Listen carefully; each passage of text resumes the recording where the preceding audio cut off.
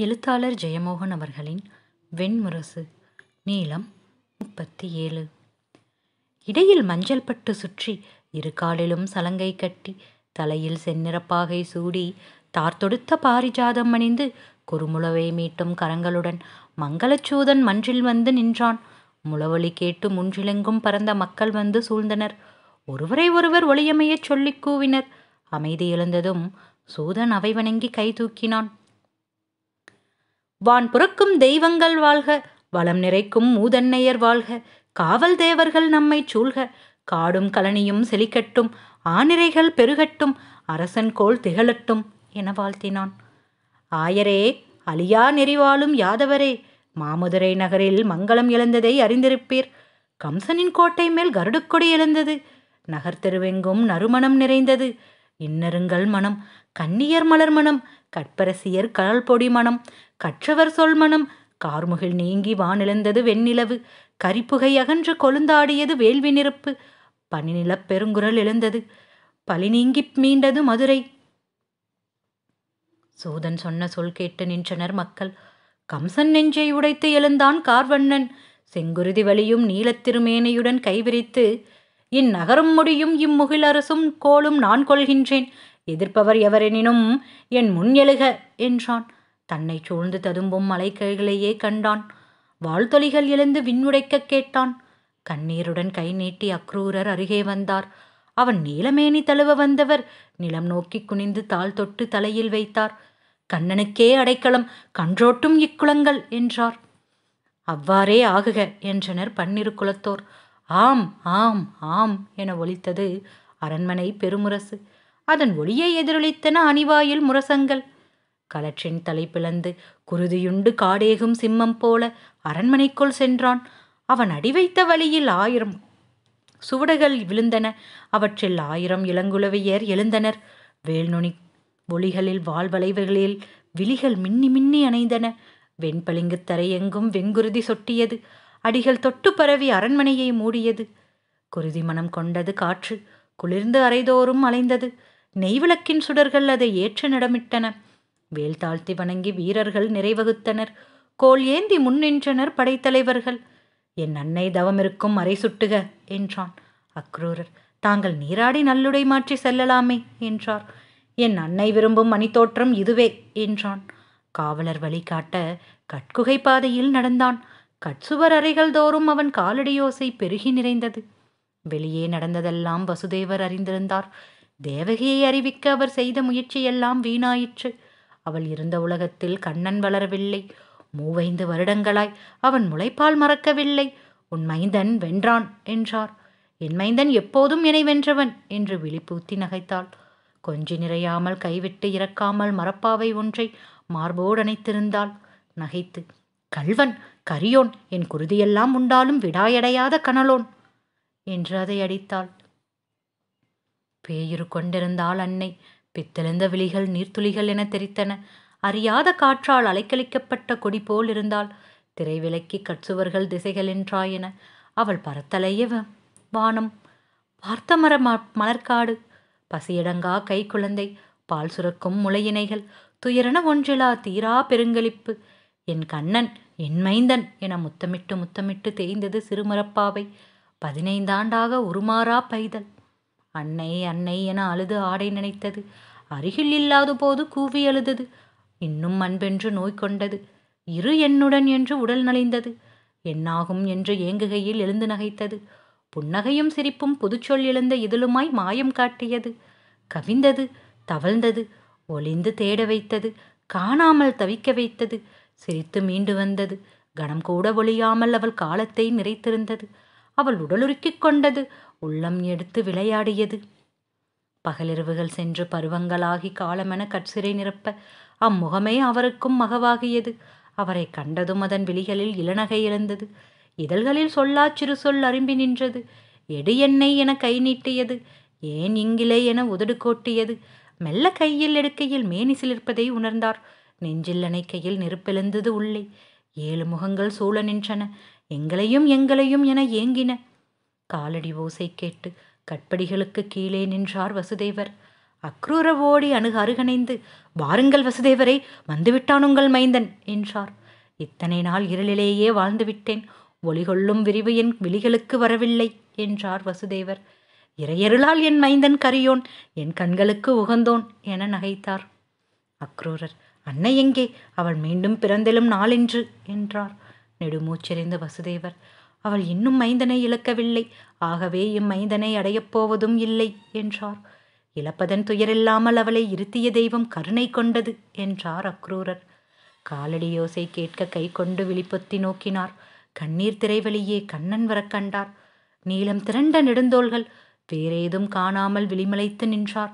அருகணைந்து அவர் காலடி தொட்டான். அருள்க தந்தையே என்றான். அருளெல்லாம் உனது என்றார். எழுந்து அவர் தோல் நிகராய் தோல் விரித்து நின்றான். இரு கரமும் நடுங்க இதழ்கள் எதிர ஏனென்றும் என்னென்றும் உணராமல் நின்றார். பின் நீலப்புயம் பற்றி நெஞ்சோடு இறுக்கிக் கொண்டார். விழிநீர் பெருக விம்மி எழுது கால் சோர்ந்து அவன் தாள் சேர்ந்து விழுந்தார்.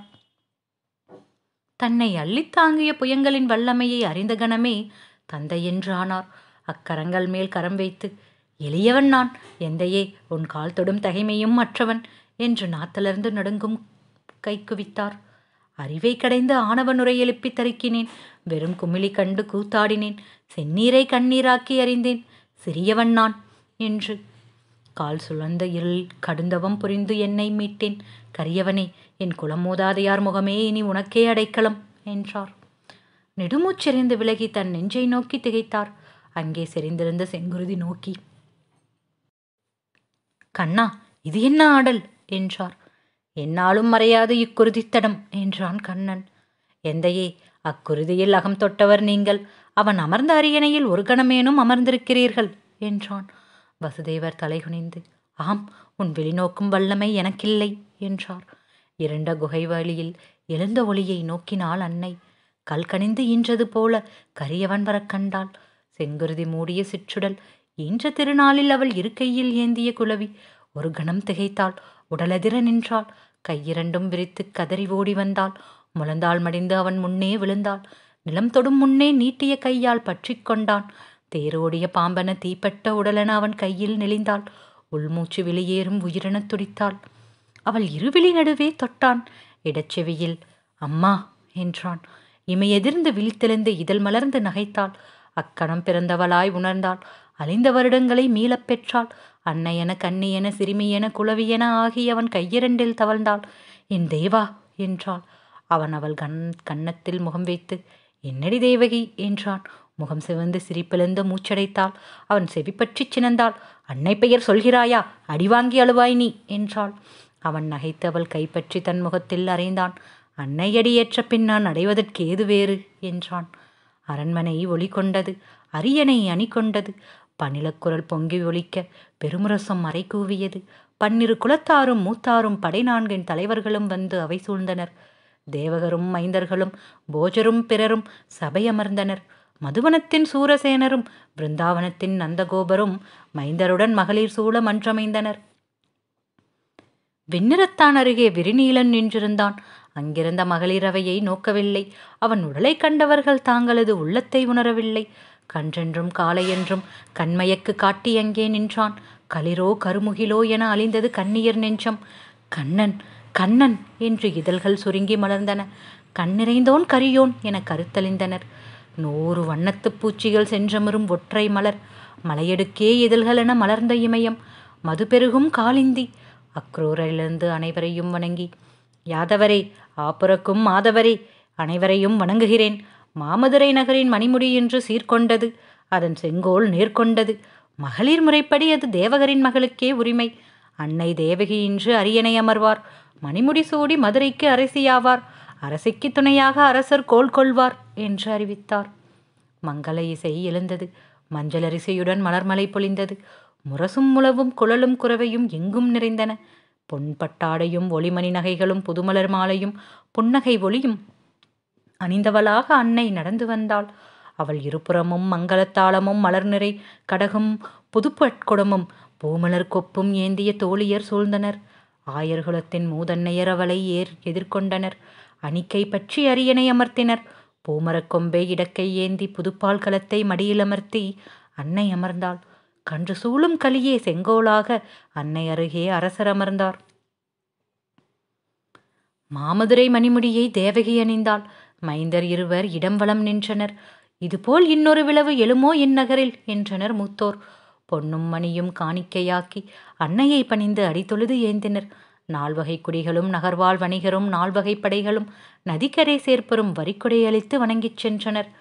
ஆயரே யாதவரே சொல்லறிந்தேன் சூதன் மொழி கேறீர் மாமதுரை முகடுகளில் மணிக்கொடிகள் இழக்கண்டேன் முரசொலியில் யமுனை நதியலைகள் ஆடக் கண்டேன். நகரெங்கும் நிறைந்த நடுக்கத்தையும் நான் கண்டேன். கண்களெல்லாம் பதறி கருத்தழிந்து அலைந்தன. கால்கள் தளர்ந்து கட்படிகள் வலிக்கின கொத்தலாரைகளுக்குள் குளிர் இறுகி பறந்தது. சொல்லாத மொழி ஒன்று நாவெல்லாம் நின்றது. சுவர்கோழி ஒளி போல பகலொளியில் பறந்தது. அன்னை அறை சேர்ந்த பின்னர் மன்னர் அவையமர்ந்தார். முதலானை கேட்க முகங்கள் கூர்ந்தன.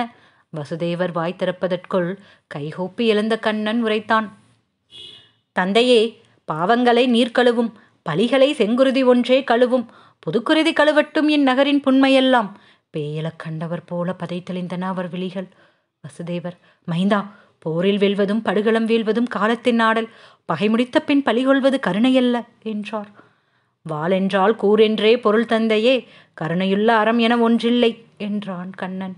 என்றும் நிகழும் அரியணைப்போர் கொடியெடுத்து களம் செல்வோர் குருதி கொடுக்கும் கடன் கொண்டோரே. குடியென்று அம்முடிக்கில் அமைபவர் கண்ணீர் துளி கொடுப்பதும் முறையே. ஆனால் குழந்தைகளை பலிகொள்ளும் குலம் ஏதும் இப்புவியில் என்னாலும் வாழலாகாது.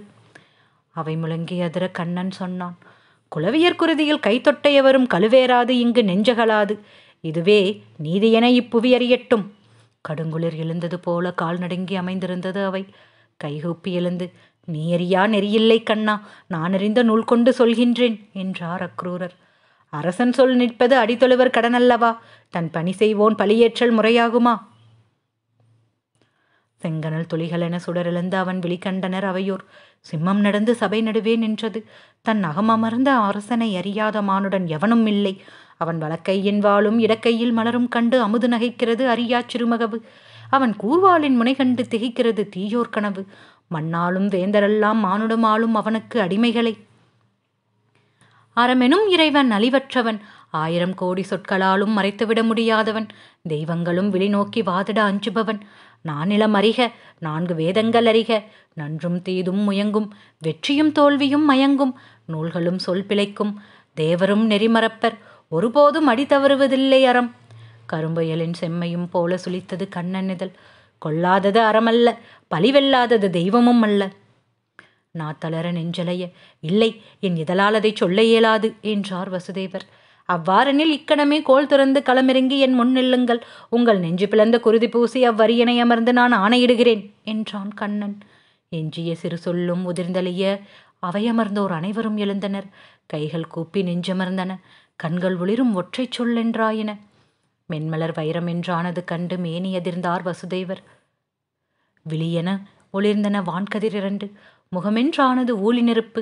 கண்ணனென அங்கே நின்றது காலமென வந்த ஒன்று. இருமுனையும் மின்னும் கூர்வாள். யுகமளித்து யுகம் படைக்கும் யோகம். உதிரநதியில் பெருங்கலம்.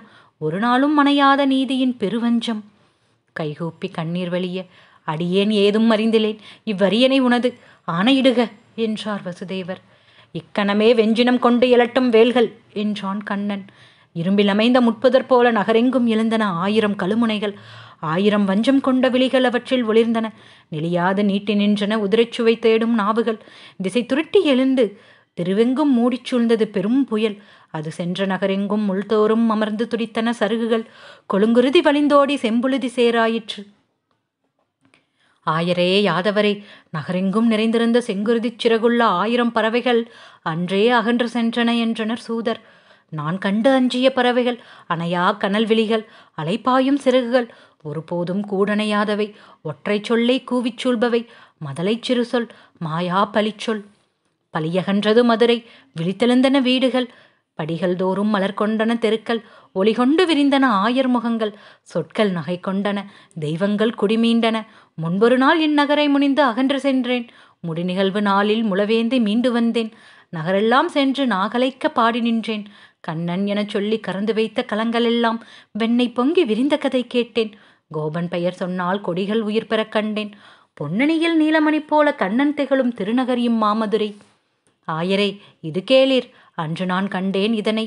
அரியணை அமர்ந்தபோது அன்னை முகத்தில் அருளில்லை. இமைகள் தாள இதழ்கள் இருக அங்கிருக்கும் எவரையும் அறியாமல் அமர்ந்திருந்தாள். தன் பட்டாடை நுனி மூடி அந்த பாவையை வைத்திருந்தாள்.